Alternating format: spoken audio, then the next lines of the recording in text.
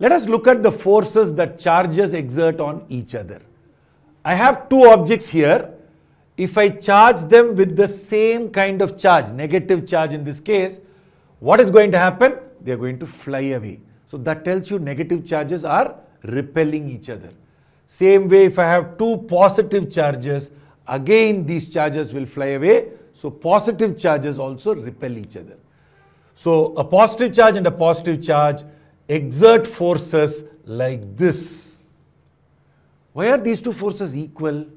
Well, Newton's third law tells us that object A, if it pushes object B with a force F, then object B must push object A with a force F in the opposite direction. So yes, these two forces must be equal and opposite. That comes from Newton's third law. But we also know that positive charges repel each other. That's why the forces are like this. The same way, if I have two negative charges, they repel each other and so the forces will be like that. Okay, so we can say that like charges repel. Okay, what if I have a positive charge and a negative charge? Well, if I have a positive charge and a negative charge, they will come close to each other. So what does that tell you? Positive and negative, they attract each other. So this will feel a force that way and that will feel a force this way. Equal magnitude force, that comes from Newton's third law. Okay, opposite direction, that also comes from Newton's third law. But attractive, ah, that is something that comes from the nature of electric forces. So positive and negative, unlike charges, attract. Like charges, repel. We can actually see this very easily if I have some charged objects. But if I look at this pen, this pen is a neutral object. Most things around me are neutral objects. So now comes the question, how do we charge a neutral object? So how do I charge a neutral object? Actually, it turns out to be quite easy. All you have to do is to take two different objects and rub them really well. That's all. Here I have an woolen cloth and I have a rubber balloon. Both of these are neutral. So you can see that every atom here has a plus minus plus minus. Same way every atom there has a plus as well as a minus. So equal amount of positive and negative charges. But rubber balloon likes electrons much more than wool. So the atoms in rubber balloon, they like the electrons more than the atoms in wool. So if I now take the rubber balloon and rub it all over the woolen cloth, what is going to happen is some of these electrons will jump over from the woolen cloth to the rubber balloon. So wool has now lost electrons, so it has become positively charged, whereas the rubber balloon has got extra electrons, so it has become negatively charged.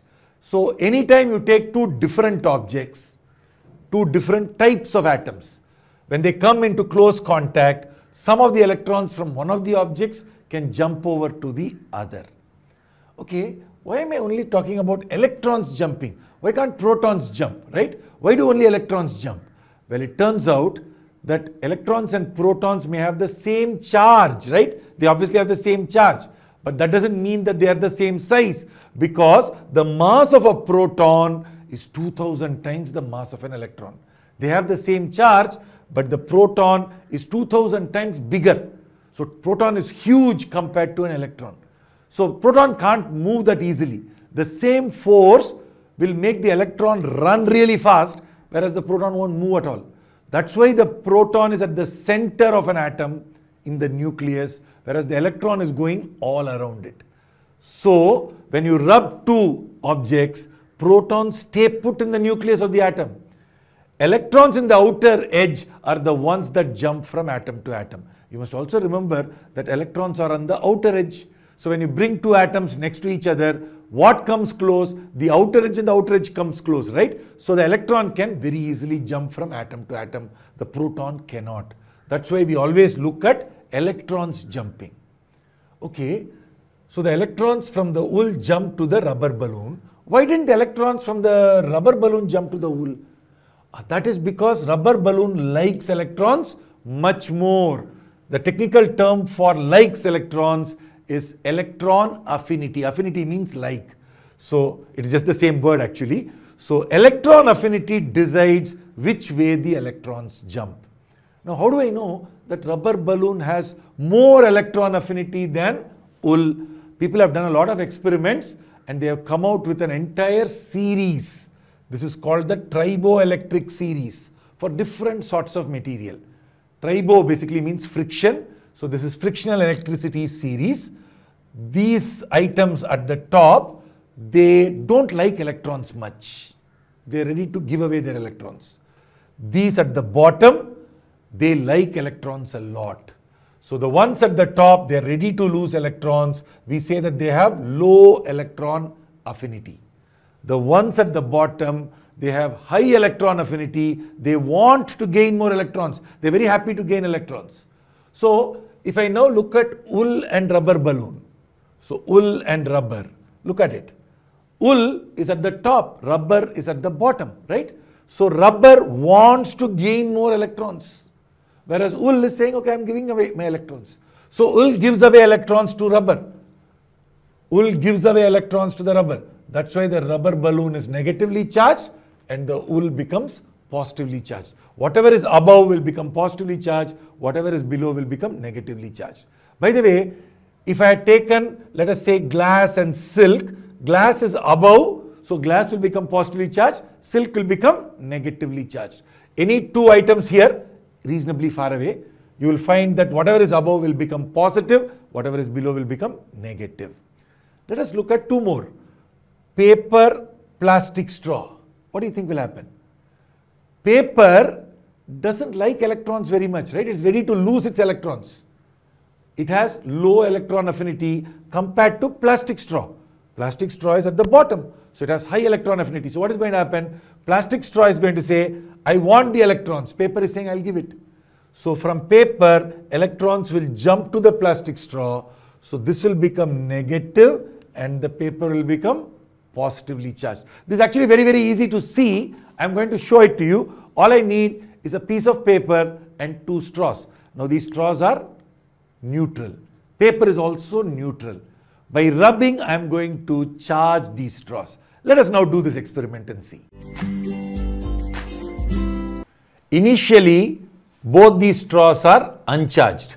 So if I now place this pink straw on this uh, bottle top and I bring the blue straw, nothing is going to happen because both of them are uncharged.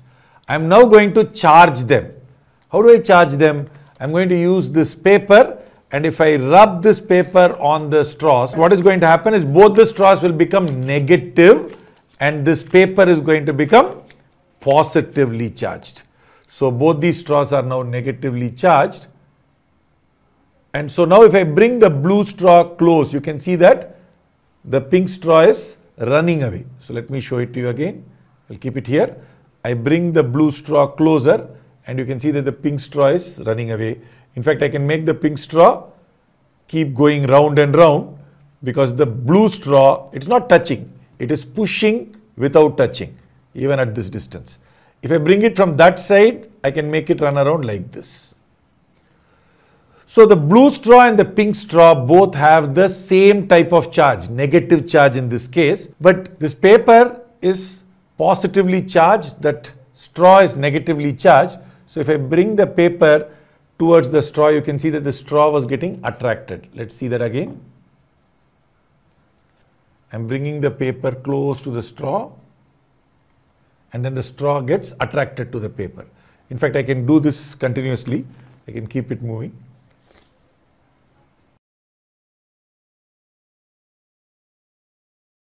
So in this experiment, we saw that when you rub these straws on the paper, the straws get negatively charged.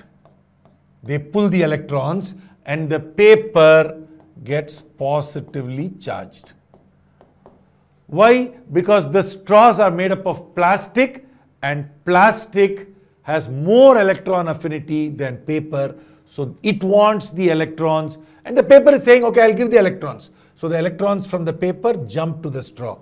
So the paper becomes positively charged, the straws become negatively charged. So this is an example of charging by friction. Now we also saw that these negatively charged straws, right, they push each other. So this straw pushes that straw like that. That straw also of course pushes this, but this straw is not going to move much, right? I'm holding it. Whereas that straw, because of the push, you saw that it started going around. So we can see very easily how like charges repel. Then we also saw that the straw, which is negatively charged, if I brought a paper, what was the charge on the paper? The paper was positively charged and the straw was negatively charged. So when I bring the paper near the straw, the paper pulls the straw and of course the straw pulls the paper, but the paper I'm holding so it's not going to move, but the straw feels a force like this and so the straw moves towards the paper. So unlike charges attract. So this simple experiment demonstrates all of these ideas that we have learned.